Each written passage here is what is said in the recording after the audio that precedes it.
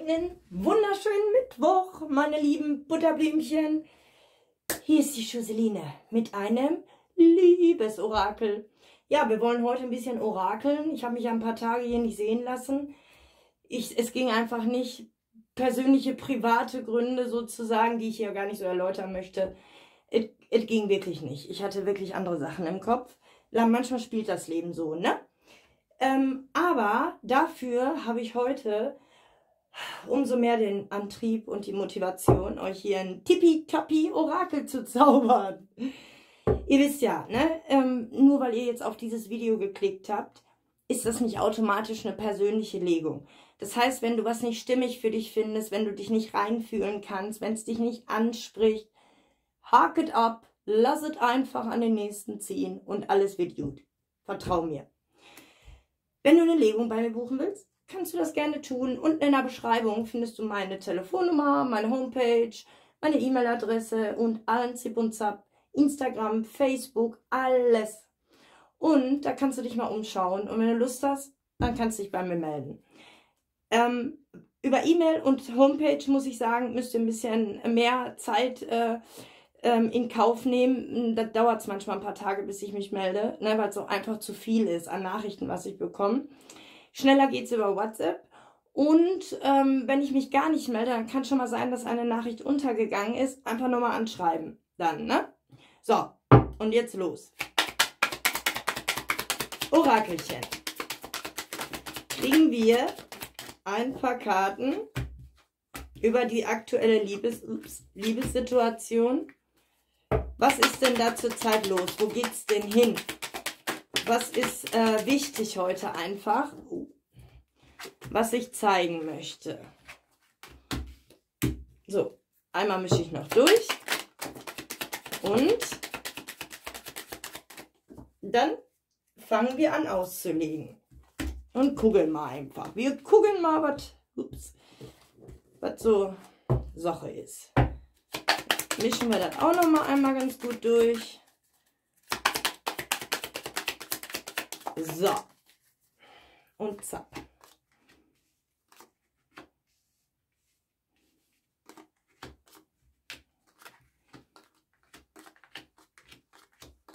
So. Oh, perfekt. Äh, danke, liebes Orakelchen. Also, das, also, da sag ich mal, 15 wollte ich, ohne, ohne Witz, Leute. 15, ich habe mir vorher gesagt, bitte 15. Und ich habe es ja nicht gezählt, ne? Äh, wie passend. Ja, dann kann das nur gut werden. Das kann ein gutes Orakel werden. Oh, hier geht es um Fest. Oh, Leute, guck mal hier. Hausring, Hund. Oh, da geht es um eine ganz heikle Geschichte. Oh, und dann neben dem Hund noch das Herz. Mir pocht das Herz, mir springt das Herz gleich aus der Brust, ohne Scheiß jetzt. Also, ähm, hier es ganz klar um eine ganz tiefe Verbundenheit.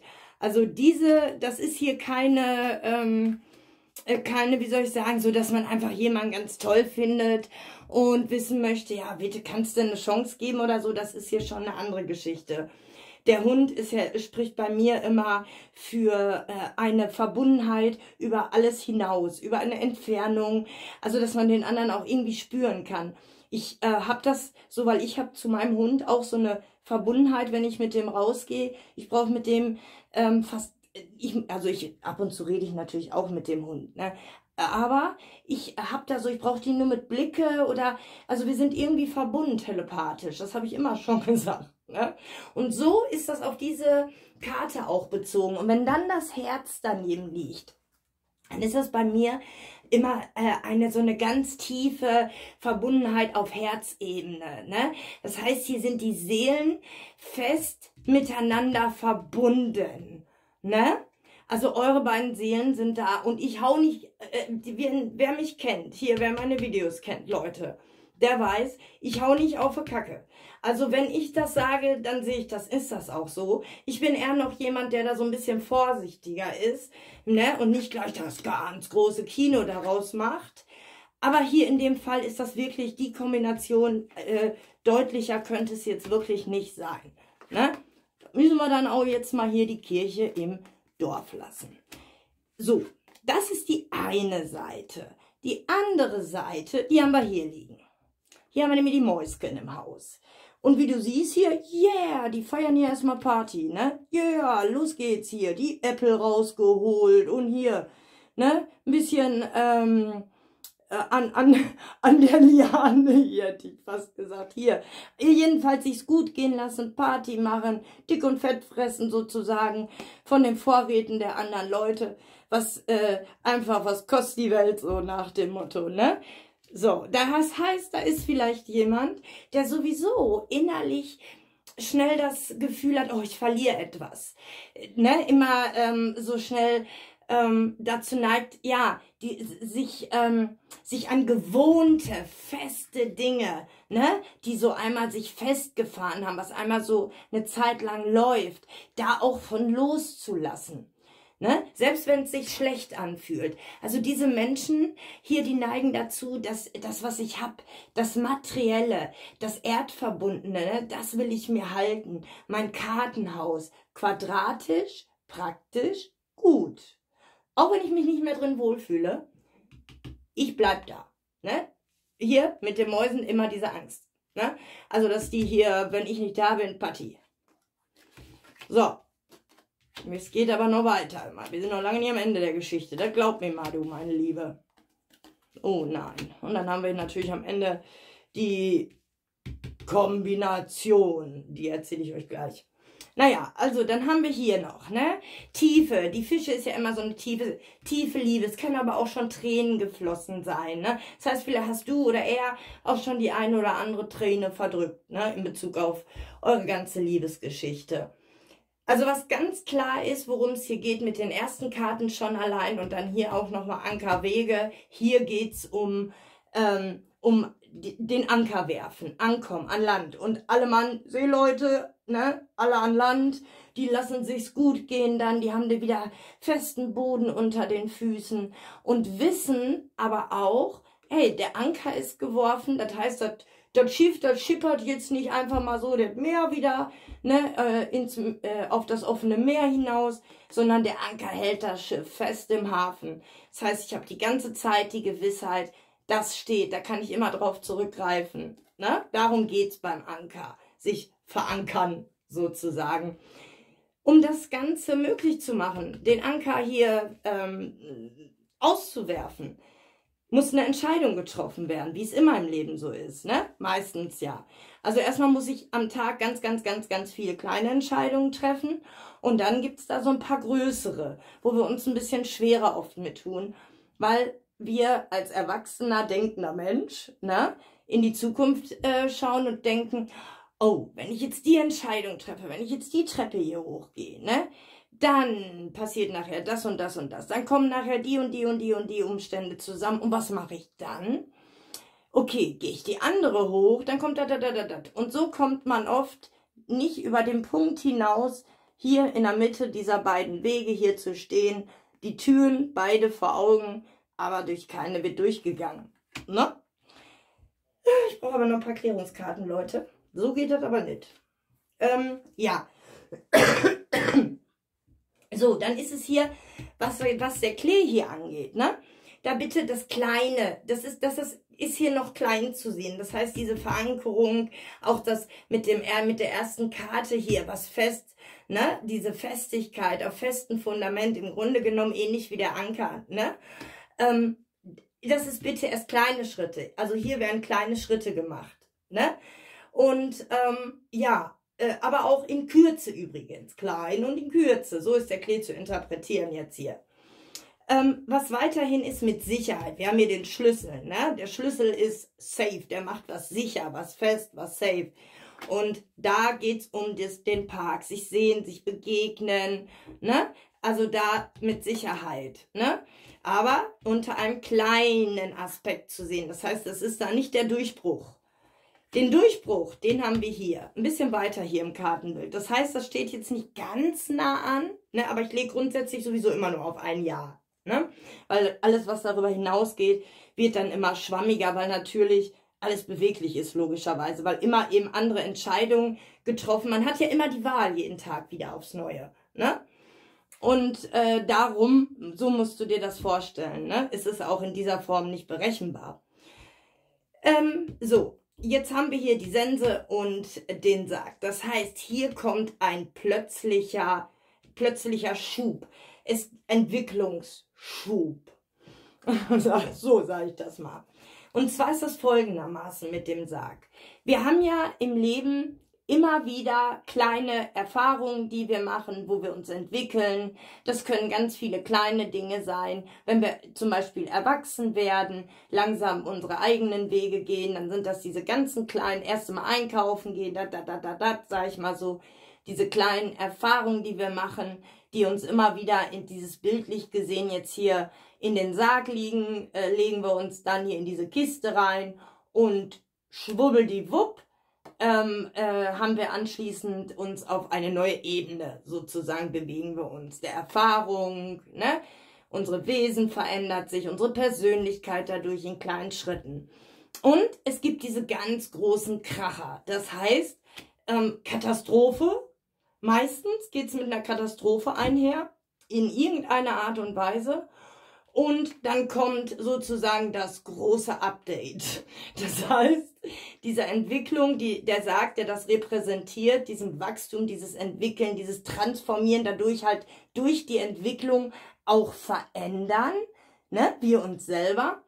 Diese Geschichte ist, passiert dann etwas, ja, wie soll ich sagen, hier mit der Sende, plötzlicher, schneller.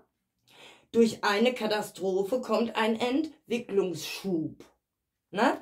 Das heißt Katastrophe in dem Sinne, dass hier prescht was rein, was dann aber auch dazu ähm, in die Entscheidung, ne? dann steht die Entscheidung, dass diese Entwicklung, die er da macht, die hat auch mit Entscheidung treffen zu tun. Ne? Äh, was ich übrigens auch glaube, dass er im Moment vielleicht so ein bisschen kühler ähm, zu sein scheint hier, sich so ein bisschen hier mit dem Eisbär das Ganze vielleicht auch auf Eis gelegt hat, vielleicht aber auch äh, im Moment so den Starken macht, so schwer an ihn ranzukommen, ne? eher so ne? unnahbar so ein bisschen, so ein Stück weit auch, kann natürlich auch sein. Ups, jetzt fallen mir die ganzen Karten hier. Und äh, am Ende hier haben wir den Turm, der das ganze Bild dann rund macht. Das heißt, ähm, um vielleicht auch die ein oder andere Entscheidung zu treffen, hier, die hier mit dem Wegen äh, gezeigt ist, muss vielleicht ein Rückzug oder dieses, ne, dass, dass du im Moment dieses Gefühl hast, ich komme da nicht so ran oder was, whatever, ne, ist das manchmal wichtig und es gehört dazu, zu diesem Transformationsprozess, der meiner Meinung nach hier dann mit einem Schub hier reinkommt, ne, in das Gartenbild hier. Ähm, ich trinke noch ein Schlückchen. So, und was wir jetzt machen, wir ziehen jetzt ein paar Klärungskarten. Ähm, zum einen auf die äh, Mäuse hier und das Herz hier, diese Konstellation hier. Äh, da fangen wir mal mit an. Orakelchen.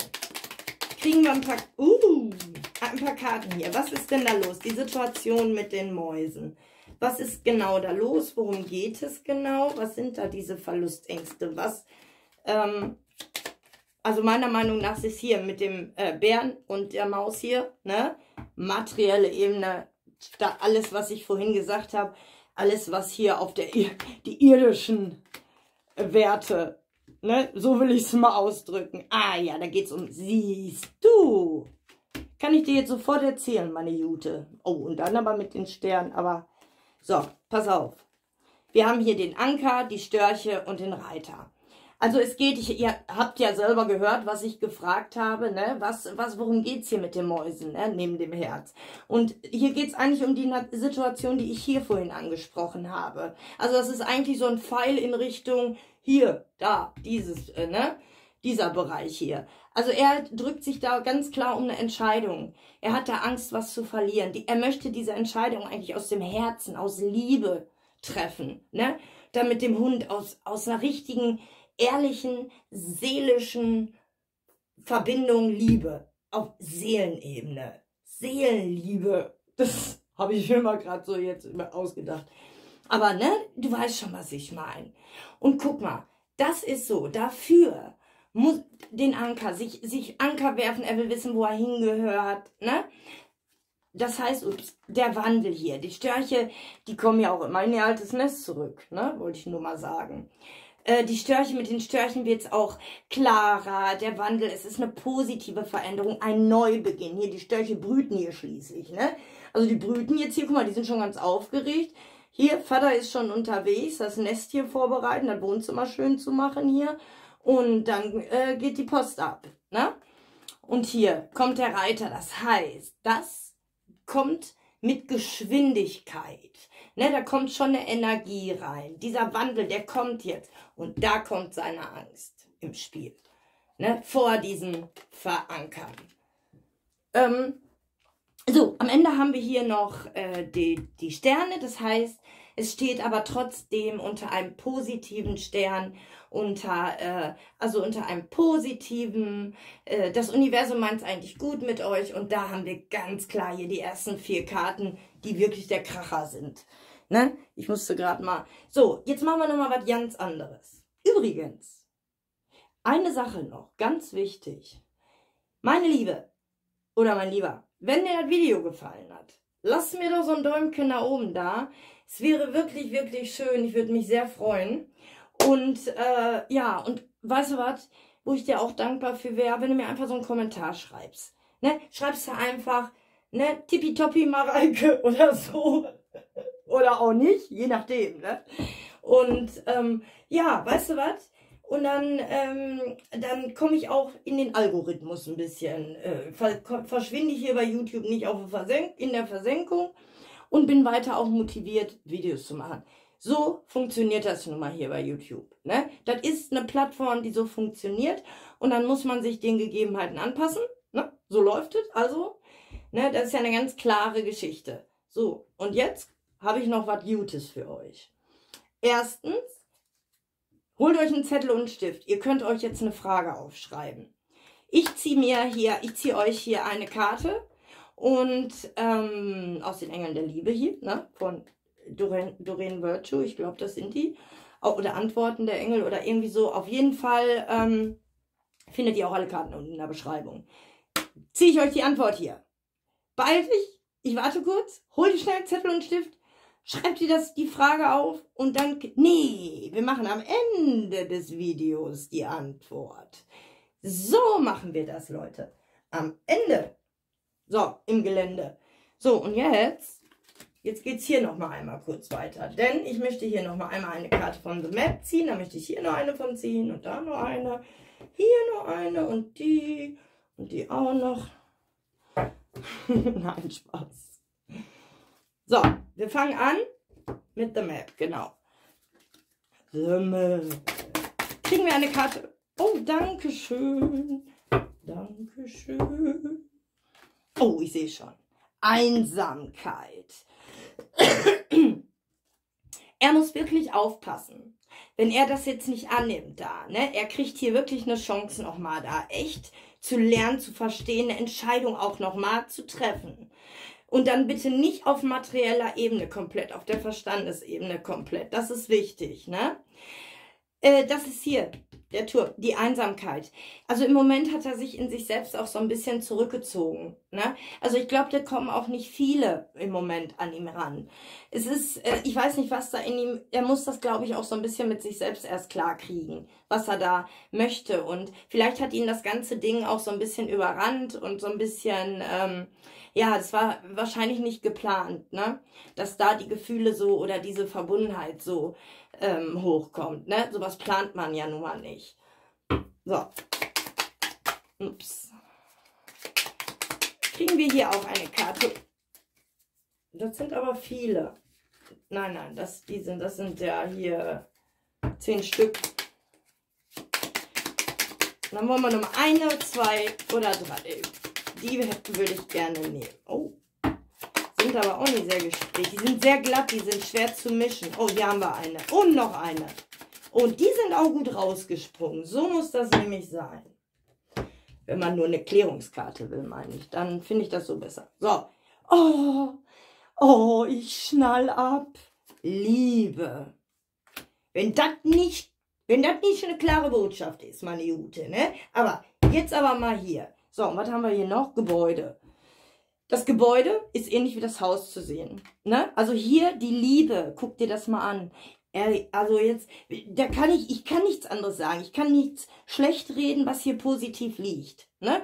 Und ich bin schon jemand, der wirklich sehr, also wenn es schlecht ist, manches Mal muss ich mir auch anhören, oh, das muss ich jetzt erstmal verdauen oder so. Aber ich sage immer, Mensch, Leute, glaub mir, die Wahrheit äh, ist besser als, die Wahrheit macht frei, so, ne?